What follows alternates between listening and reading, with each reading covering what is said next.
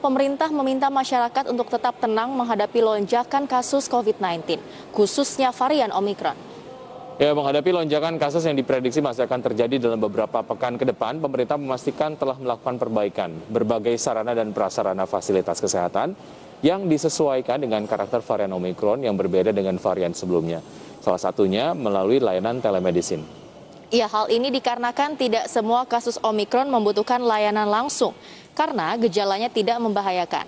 Meski demikian, Presiden Joko Widodo meminta masyarakat untuk tetap menerapkan protokol kesehatan dan mengurangi aktivitas di tempat ramai untuk menekan sebaran Omikron.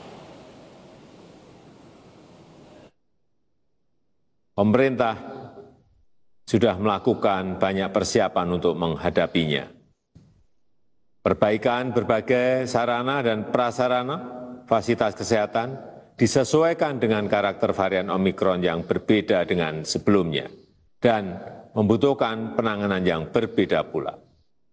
Salah satunya melalui layanan telemedicine, aplikasi layanan kesehatan. Tak semua kasus COVID Omikron membutuhkan layanan langsung karena gejalanya tidak membahayakan. Yang paling penting, meminimalkan kontak. Ini akan mencegah penyebaran yang lebih luas.